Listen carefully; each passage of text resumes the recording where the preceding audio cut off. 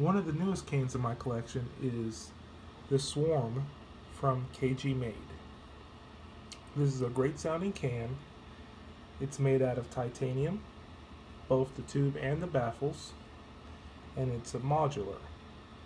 So if I wanted to shoot in the long configuration as is, not a problem. If I want to shorten it down, I just unscrew this part right here.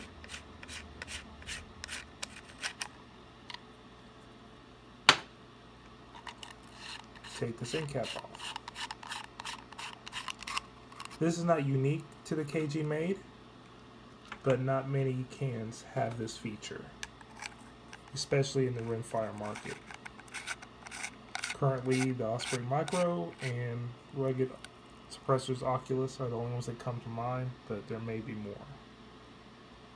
It ships with an Allen key to tighten the end cap or loosen it.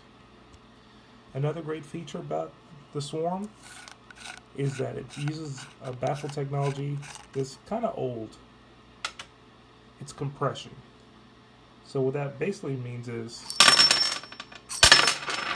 the baffles literally just fall out. After thousands of rounds, they just fall out. And I've been shot maybe two, three hundred rounds through today, and I've never cleaned it. You see the outside of the baffle is nice and shiny, and it's dirty on the inside. Same for this piece.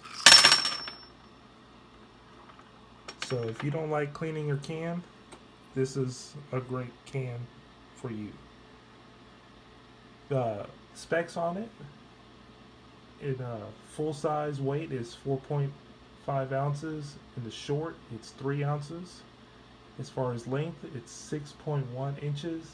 And in the short configuration, it's 4.5 inches, as this right here. So if you're looking for a great new 22 can that sounds great, is easy to clean, lightweight, and full auto rated, it's hard to beat the KG made Swarm. Go check them out.